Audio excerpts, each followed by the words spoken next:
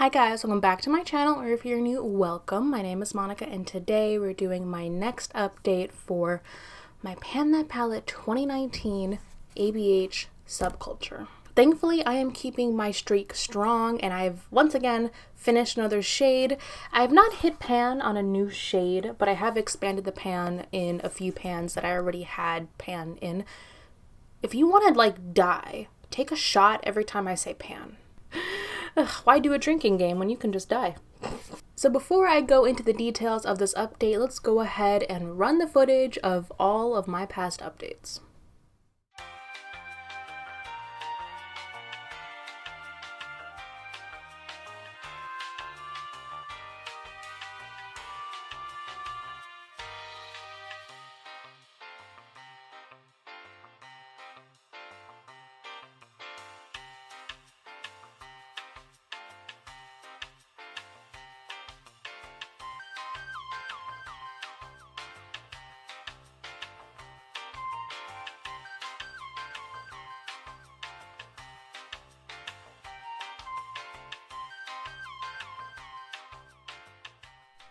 And this is my palette now. Ho, ho, ho. Look, we totally finished up Rowdy. Rowdy is gone. And I was able to expand the pan huge, hugely. Can I use words? I expanded the pan in Mercury right up here because since I ran out of Rowdy, I was looking for another shade that I could use in my eyebrows. And while it's not like the best shade, like it still works in my eyebrows. It's not as dark as I would personally like for my eyebrows, but it's, it's definitely workable. And it's definitely something I can do or go to day after day, which is what I've been using practically every day since I ran out of Rowdy. And it's helped a lot. Look at all that pan in there. I've also managed to expand the pan a lot since my last update in New Wave. I've been using uh, Edge and New Wave in my favorite like uh, yellowy kind of warm look. And then my go-to neutral look. Whenever I do a neutral look, except for today, I'll explain that a little bit later. But my go-to neutral look has been to use Adorn in the crease and in the transition, and then to use Fudge just to deepen it out. And then I go in with a different shimmer all over the lid. Uh, recently, I've been trying out these new CoverGirl liquid shadows that I've been using. I also love to use the Stila Glitter and Glows. Those are also a really good uh, liquid shadow to use. I've also been trying to use more of my, my individual like shimmers, individual like shadows. So I've been actually doing pretty well because uh, that's something I can throw on really quickly. And no matter what I do, once I do these neutral colors, I can just throw anything on the lid and be good for work, which is great for me. I honestly haven't really made any more progress in the pan size of Destiny or Roxy. Um, I've been using Roxy a little bit, but really like Roxy and like All Star, those are like fall colors to me. Like I want to do like some nice smoky cranberry looks. Once we're in the midst of fall, I know the pumpkin spice latte is now out, and that is the official signifier of fall but I need the weather to get a little bit colder, and I think that's going to be my next go to look once I finish either uh, Edge and New Wave or when I finish Fudge and uh, Adorn. Other than that, I am still not really using Untamed or Axis. They look practically untouched. So I am, I gotta say, like being honest, I'm impressed with my progress so far. I think it really helps that I found another shade I can use in my eyebrows. I am wearing Mercury in my eyebrows today. It does look a little lighter than I would personally like, but it's good to try like new things. Like I've actually been having fun experimenting with different things that are like kind of a rut in my routine. I might do a video about that. But I've been using Mercury like that and I honestly think I could I don't know if I can finish it by the next update, but I can make some progress by the next update in Mercury. I really want to hit the top of the pan in Adorn by my next update because I actually, so this upcoming month, September, I have two work trips. One I'll be taking trains to go to, it'll be overnight, maybe two nights. And the other one I'm actually flying across the country to go to. So it'll be couple of trips. I think the one where I take the train, I'll take this palette with me.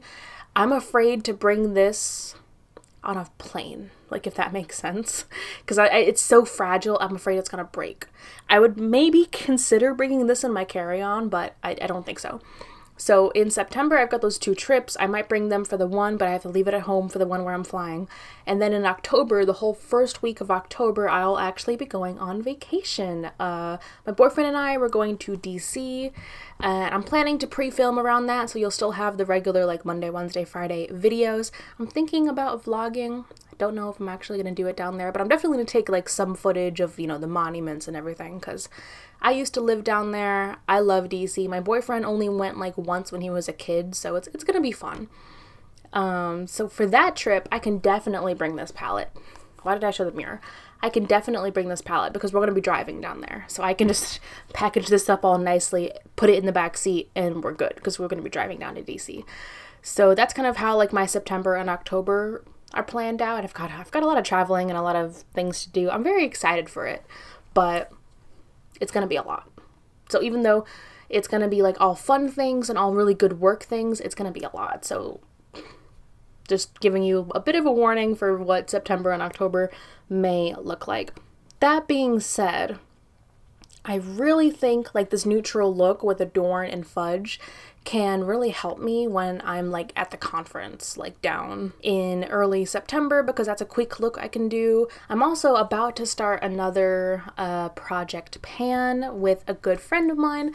So that's actually what I'm wearing on my eyes today. I'm not actually wearing anything from Subculture today because I'm wearing the majority of the new Project Pan products. So by the time this update is up, I will have the intro for that Project Pan. It's called the Lust for Lux Project Pan. I'll throw a link up in the cards if you guys want to follow along along with that project as well. It is a six month project, so I'll be going from September 1st all the way until March 1st. So that being said, I know that there are some neutral shades in the palette that I want to like hit some pan on for that project, but I am going to be focusing on this project first and foremost since it is my pan that palette for 2019 and i think I, I mean honestly i don't want to jinx anything knock on wood I think I'm on a good track to finish this by December. So hoping to keep all of that uh, good motivation, all of this good like movement and progress, and just keep going because I know these next two months are going to be the hardest since I'm going to be traveling so much and since I'm going to be so busy.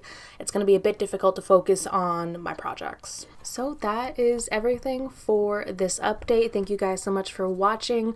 Let me know, like, just down below in the comments if you do want to see anything about my trips that I'll be taking over the next month or so.